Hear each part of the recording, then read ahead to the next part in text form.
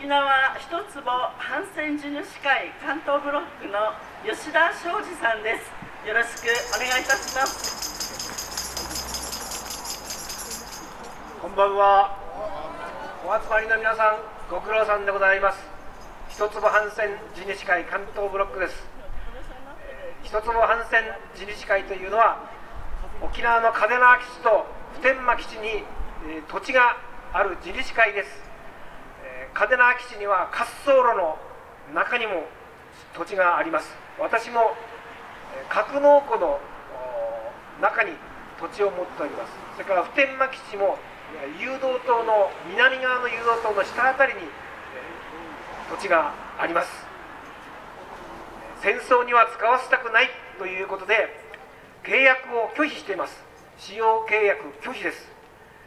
契約を OK している地主会軍用地主は実は3万人おります。私どもは契約はいたしません。戦争には使わせない。だけど強制使用されております。3000人ほどで共有しておりますので面積が少なくなって一坪半線これ例えだったんですけど一坪だと言ってバカにされております。実際には私は一坪以上もちろんあります。中にはですねハンカチ印だとか座布団印だとか小さいっていうことでバカにしてる人がおりますが狭いながらも楽しい我が家。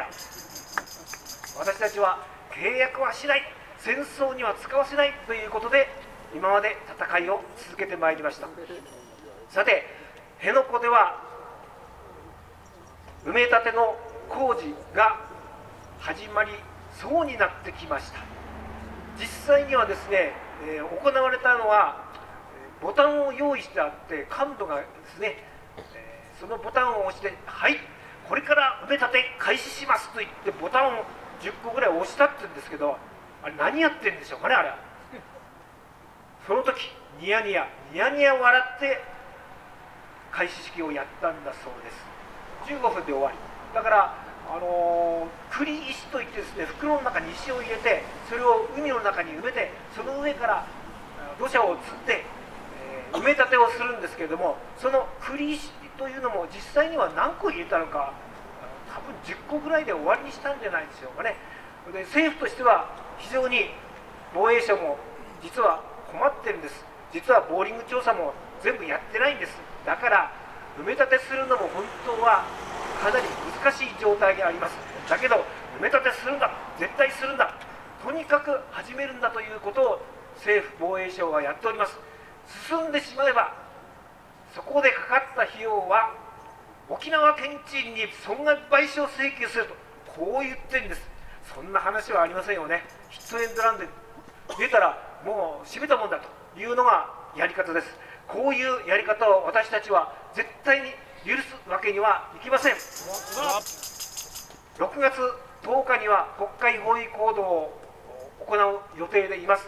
皆さんもぜひ参加してください。6月10日土曜日です。日曜じゃないね。土曜日です。ぜひ、えー、参加して辺野古の基地は埋め立てるなという声をここで上げましょう。で沖縄の辺野古の周辺だけでやったんでは事態は動かすのは難しいと思います。沖縄の人たちは諦めないという気持ちでやっています。私たちもその諦めないという声に応えるようにしていかなければならないと思います。共謀罪は憲法違反です。相談したからといって罪に問う処罰されるというやり方。これではですね沖縄の人たちはみんな共謀です。共謀で持ってかれちゃう。そういう法律で明らかに沖縄も想定して処罰法を作っております。こんなことは許すわけにいきません。沖縄の人たちもこれは大変だという危機感を持ち始めています。私たちはこの共謀法準備行為も先日の参考人質疑で明らかになりましたけども準備行為ってどうやって準備行為か分かるんですか、えいろんな盗聴をやったりいろんなことをやるからですよね。そんなことはやりませんみたいなこと言ってるけどあれは嘘です。そうやって嘘をついて国民を騙して共謀罪というのをでっち上げているんだと思います。私たちは沖縄の人の声も合わせて共謀罪反対をしていきたいと思います。私たちは軍事基地に反対していますけれども日本政府はアメリカの意向を明文では言わないものの行間を読み取って忖度してそれを軍事基地に変えようとしています。海兵隊っていうのは沖縄に実に4万5千人もいるんですがこんなに置く必要は本来アメリカにとってもないんですよ。ないのに忖度しちゃって日本政府が置いとけばいいと。アメリカがいなくなったら自分たちが使おうと。そういうふうに考えているのが安倍内閣のやり方です。私たちはこういうやり方を絶対に認めるわけにはいきません。沖縄の人たちががっくり来ないように私たちも辺野古の基地反対という声を上げましょう共謀法とそして沖縄の辺野古基地埋め立て反対この声を合わせて安倍内閣の応募を食い止めようではありませんかこれからも私頑張りますので皆さんも一緒に戦いましょう